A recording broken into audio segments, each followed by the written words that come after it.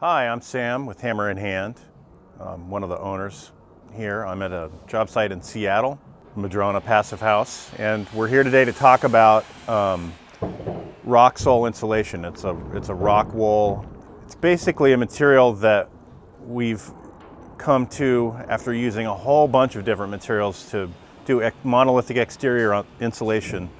So in this climate in the Pacific Northwest, um, we've pretty much ended up on a typology, building typology of monolithic exterior insulation in a sheet form uh, that we can then fasten through.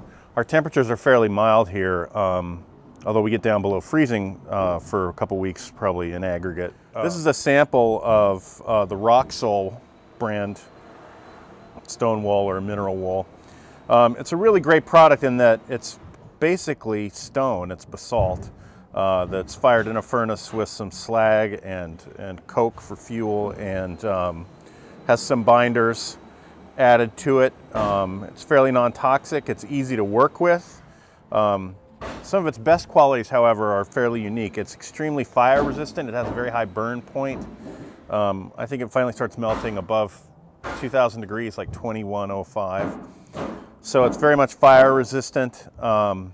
Fire resistance, of course, is rated in assembly, so it's hard to say, give any value to any particular material other than just its burn point. Um, so this material um, has another unique quality. It's extremely hydrophobic. So a close-up of pouring water down the face of this material, and the water just beads up and runs off completely. So in assembly, here's our wall section.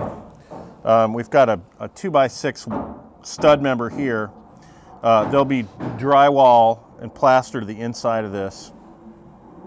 This space here, this five and a half inches, will be taken up, uh, be filled with um, dense packed cellulose, so recycled paper. Um, this building is framed uh, with advanced framing, 24 inches on center, so we've minimized the stud, uh, the framing factor in the wall. Uh, then we've got a zip system uh, sheathing here.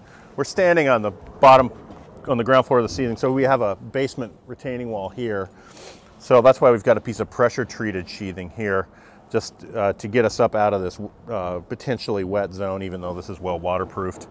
Um, the transition zip sheathing here. This zip sheathing will serve as our airtight member, our weather resistant barrier, all in one. So uh, we'll fill any nail holes that are a little bit overdriven. Um, that one.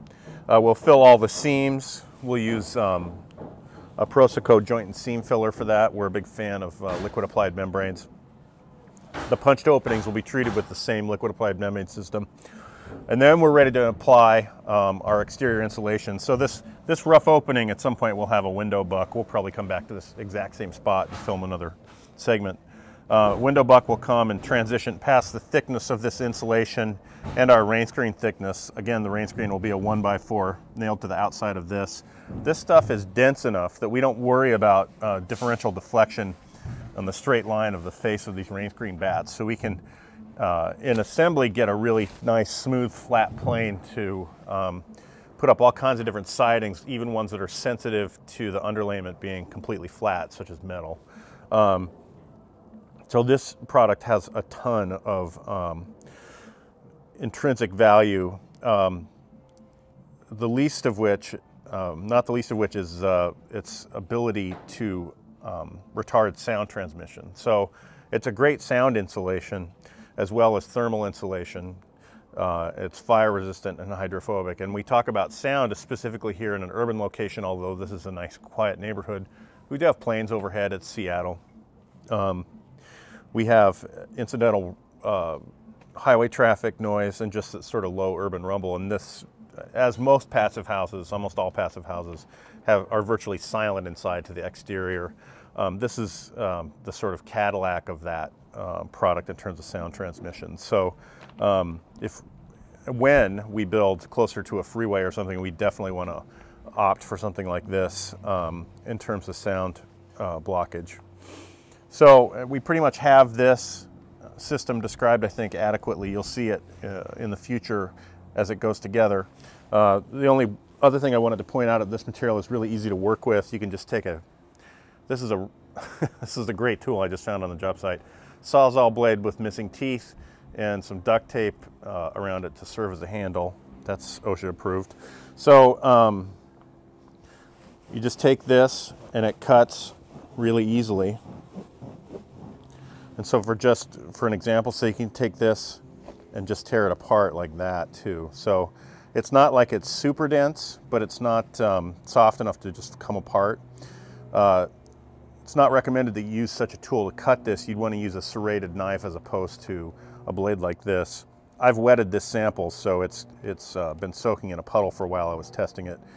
So we don't really have a lot of dust issues, but you want to wear um, uh, protection against particles and use a serrated knife when you cut this normally.